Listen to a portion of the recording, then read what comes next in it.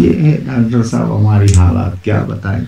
بڑی سنگین حالت ہوتی ہے اس لیکن پھر بھی اللہ کا شکر۔ اللہ کا شکر۔ کہ اللہ نے ہمیں مسلمان بنا کر پیدا کیا۔ یہ بات صحیح ہے۔